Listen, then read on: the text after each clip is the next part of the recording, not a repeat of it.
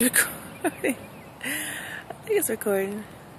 Hi guys, this is Lorena Janelle. I'm college mom and um, I'm on my way to school. I'm not, I'm using this re reverse camera again on my phone. So I'm looking at myself while I'm recording myself. And but every time I look at myself, I'm looking away from where I'm supposed to look at the camera.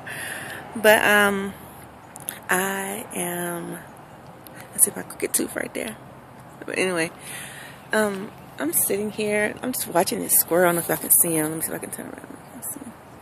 But he made circles around me. Oh, look, he got something in his mouth.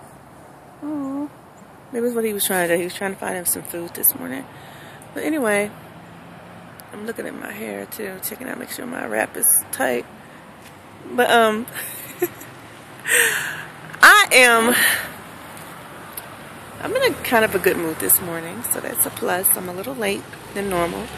30 minutes behind schedule, but it, I'm not going to be too late for class. So probably put me like 15 minutes late for class.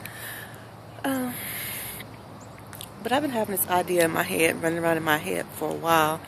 And I think I'm going to go ahead and finally implement it, put it in place. Um, I know you guys know how you have like support groups, like for everything. Anything that you can think of now, there's a support group for it. And so, uh, hold on, nosy car.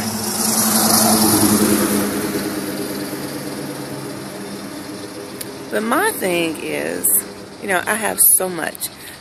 I'm a single mother. I am newly divorced. I am a non-traditional student in college. Um, I am part-time worker.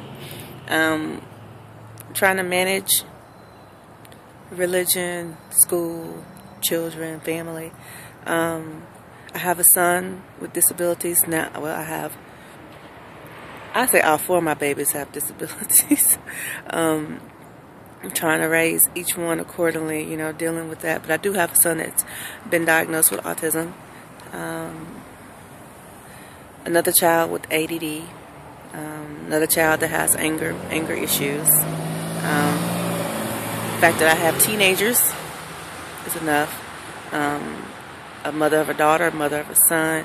You know, it's just so many issues. So there is no way I could go to all these different support groups for each individual one. So I came up with the idea of why not just have